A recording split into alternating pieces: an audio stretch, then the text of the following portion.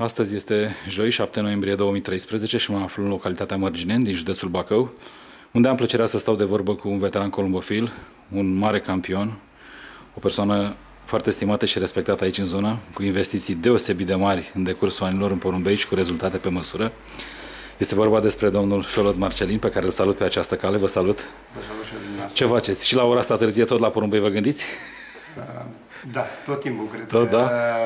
E un hobby care nu se poate compara cu niciun alt fel de hobby, cel puțin pentru mine. Chiar că înainte de a mă căsători spunea soție că să nu mă pun niciodată să aleg între porumbei și altceva, inclusiv ea. Domnul Mă Șolos, eu gândesc știu- acolo da. și mă gândesc ca Eu știu că aveți o, o experiență foarte mare în domeniul columbofil. Creșteți porumbei de mic copil, dacă nu greșesc. da, din clasa 5 de la școală. Participați în concursuri de foarte mulți ani, într-adevăr. Ne puteți face o comparație între ce însemna, de exemplu, columbofilia acum câțiva ani și cea din zilele noastre, despre sistemul de, de organizare, despre ce așteptări aveți, de exemplu, dumneavoastră de la...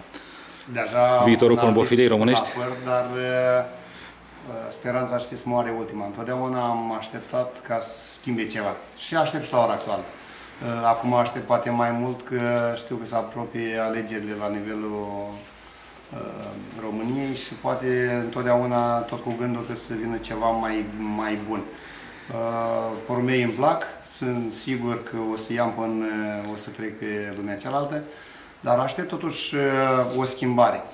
Uh, Nu sunt eu în măsură, poate cei mai tineri să mai dezvolți, dar totuși aștept totuși o schimbare în primul rând, uh, așa suntem noi românii, ne place să stăm în coada la câinii de 10 ori, ca să ajungem la un rezultat. Dacă aș, aș vorbi din domeniul meu, exact cum sunt legile fondul funciar.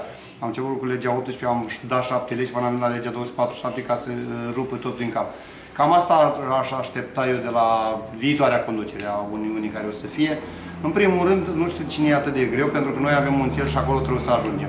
Nu a, i-a fost greu la toți să traducă regulamentul internațional și să-l aplicăm și din ziua aia să fim și noi ca în America cu o Constituție de 100 de ani. E atât de greu ca să, să traduci un regulament internațional pentru oameni care au muncit 300 de ani la acel regulament și să-l respectăm de-a doua zi. Eu sunt sigur dacă viitoarea conducere va face acest lucru, uh, în mine cel puțin uh, o să fiu cel mai mare susținător pentru acest lucru, pentru că nu mă interesează să am niciun uh, beneficiu, nu, nu, nu-mi propun niciodată să vând un porumbel, eu îi cresc doar din plăcere, dar uh, uh, n-ar mai fi atâtea Uniuni în România, sunt sigur că toată lumea care au plecat și s-au despărțit, absolut toate Uniunile astea au plecat doar datorită regulamentului sportiv.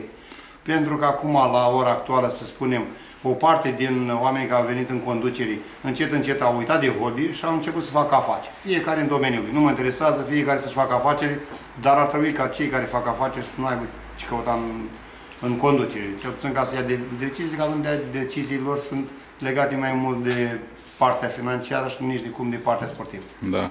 Spuneați mai devreme de prevederile regulamentului, că UCPR-ul și FRSC-ul s-au înființat exact din Datorită acest motiv. Da. acestui, Pentru că Poate și datorită... regulamentul nostru care îl facem, acum mai nou, în ultima perioadă, îl facem la un telefon, dacă aprobă, domnul, se poate deroga ceva, nu mai trebuie ședință, nu mai trebuie nimic, un telefon, ești prieten, se poate deroga ceva de la regulament, pe când regulamentul trebuie să fie ceva, domnule, e sfânt, ca Biblie. Nu, Fără nu-ți interpretare, convine, fără- sau Nu, nu convine.